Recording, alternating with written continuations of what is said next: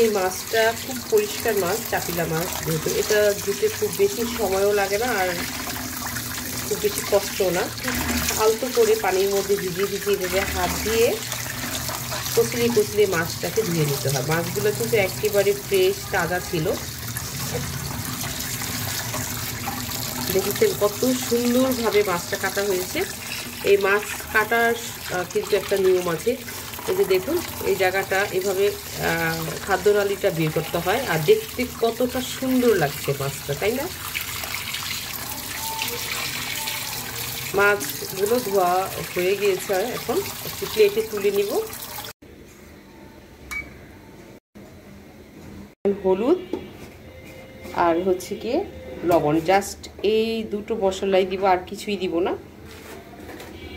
সামান্য পরিমাণ হলুদ আর লবণ দিয়ে এটাকে হ্যাঁ অল্প হুম। এই লবণটা দিয়ে এখন খুব ভালোভাবে এটা মেখে নেব। হলুদ আর লবণ দিয়ে খুব ভালো করে এটা মেখে নিয়ে আমি দশ মিনিটের মতো রেখে দিয়েছিলাম এখন এটাকে আমি ফ্রাই করে দেবো।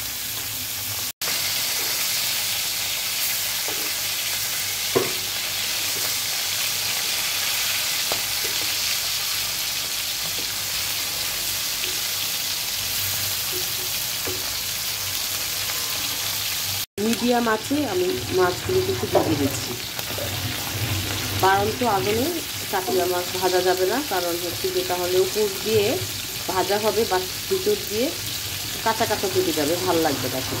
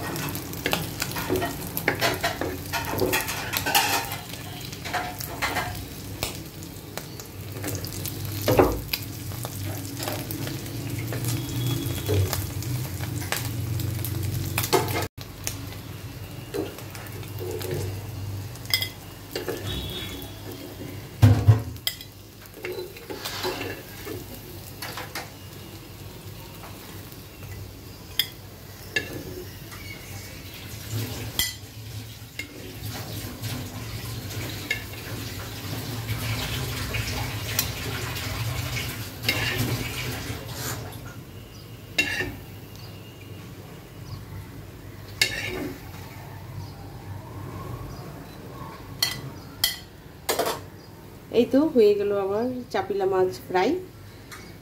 কাক আমি যেভাবে ফ্রাই করেছি, এভাবে খেয়ে দেখবেন ভীষণ ভালো লাগবে। তো সবাই ভালো থাকবেন সুস্থ থাকবেন সুন্দর থাকবেন। আল্লাহ হাফিজ।